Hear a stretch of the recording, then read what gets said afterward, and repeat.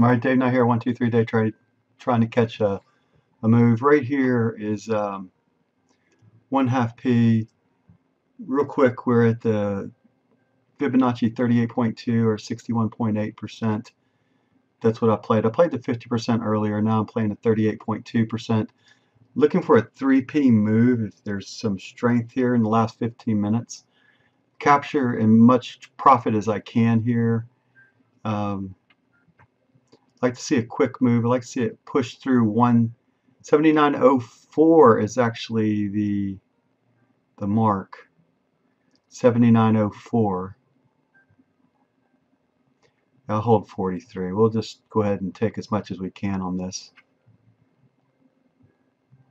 Know your numbers, right? Know your numbers.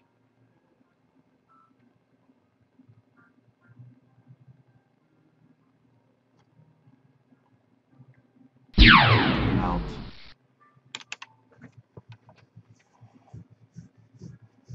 Every down has been followed by a move back.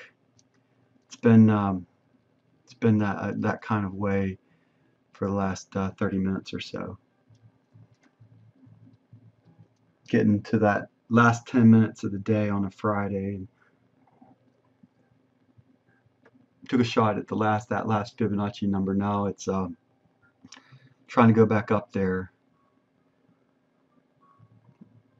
This down move has not, uh, or this move, this Gann signal I'm trying to trade has not been conducive to uh, taking a trade on.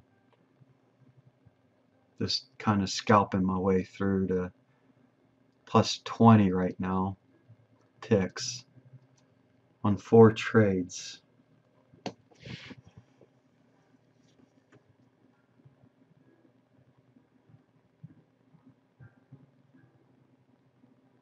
Alright, I'll pause here and see if there's anything else to do. I might have messed this move here. Come, yeah.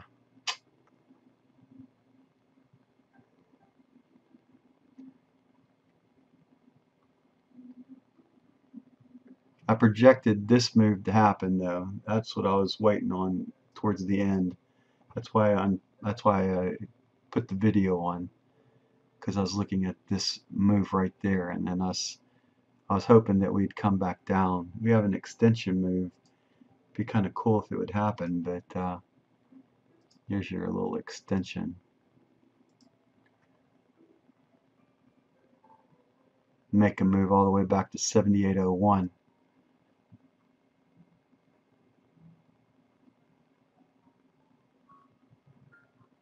It's a 10 minute chart you're looking at right there.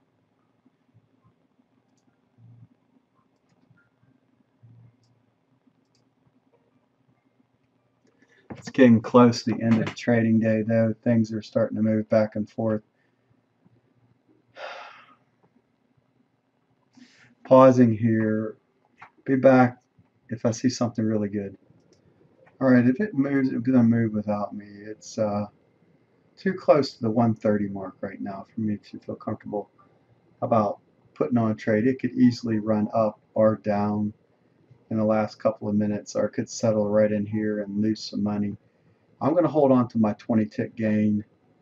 Um, now this is the account after uh, the first week of trading in the funded account. Uh, they give you a real number here because it's uh, $5.04 per round turn.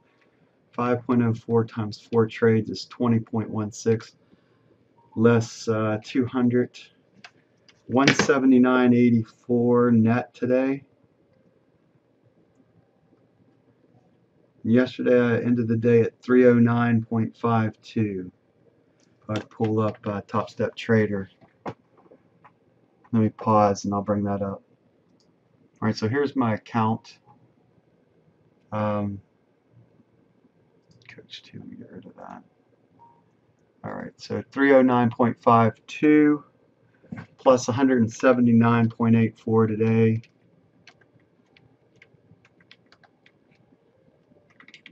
So I'm at 489.36 after commission costs. So four days of trading this week. I didn't. I, I got the account on uh, Tuesday. I'm using just the one minute chart, and I don't have volume figures that I like to see. So I'm just kind of grinding it right now, working my way to 5,000. So this is the the account, and um, these were my fills today. I had four fills. Uh, let's see, the market's kind of meandering back and forth here. I trading. I'm trading the last. Uh, looking at the market at uh, 12 o'clock CST time and trading to 1:30. So I'm looking at the last hour and a half of trading. Ideally, I'm trying to pull out at least a 1.5p per trade that I put in. This right here would have been 1.5p based upon this up here at 79.60. Quickly, my trades centered around today uh, on the Fibonacci numbers. I tried here at 61, 50, and 38.2. None of these trades worked out as far as uh, making a move. Um, Fibonacci extension off the 7960 coincides basically to 61.8%. I really liked, I, I, this is what I was thinking. If we get up here to the, the 38.2% retracement, we had a shot to shoot down here towards close, or at least maybe reach back down to the, to the lows of the day. Um, market didn't want to move towards the end of the day. You got employment numbers. You have all the other economic stuff that came out today. So there's a reason behind why things stay the same. Also, it's a Friday. Fridays are very uh, different trading sometimes. Uh, they can do a little bit of everything on a Friday. It can go up, and down, sideways. Can go in circles, it seems like at times. It just seems like it can do a little of everything. All right. So that's going to do it for this video, and I just wanted to bring you up to speed on the week.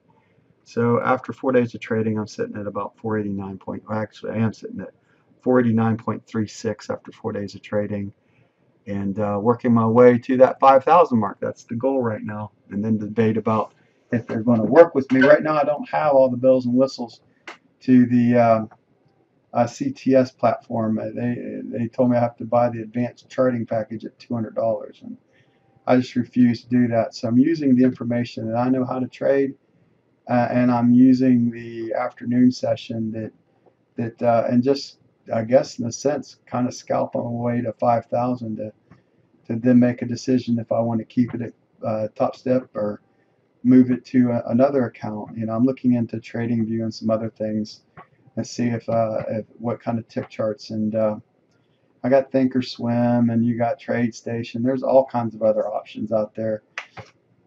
but you get 100% of the first 5,000 and maybe I just stay at uh, at Top Step. Maybe I trade it, withdraw 2,500 and keep the other 2,500 there. Keep on trading, keep on scalping away. I don't know. I haven't made up my mind what the hell I want to do. But needless to say, I I I I think that you should be able to uh, have the same platform as you have in step one and step two into the funded and not have to pay. But that CTS thing, CTS has a demo account with all the bells and whistles, and then their live freaking account doesn't have all the bells and whistles, doesn't have tick charts, doesn't have uh, second volume I like to see, and odds and ends that I like to look at. So spike volume that I look for. I got to kind of figure where that spike volume is in a sense. Uh, thinking about, and I can I can't do any tick charts. The most I can go down here, you can see this would say custom if it was, and there's no custom. So this is all you have. One week, one hour, one. So the furthest I can go down is the one minute chart. So that's what I'm using. At a one minute chart, and off this side, I have a 10 minute chart. I look at basically what I do with this chart is there's nothing on here other than price action and the pivot points and then Fibonacci's as I, as I see them. So those are what I'm using the and then what I do basically is I start the day looking at the dailies and I go from the daily and then I look at from there I go to the hourly I've, I've shown you guys this over and over before and then hour I go into 10 minutes and 15 minutes so I like to look at the 10 minute chart so 10 times, 10x, right?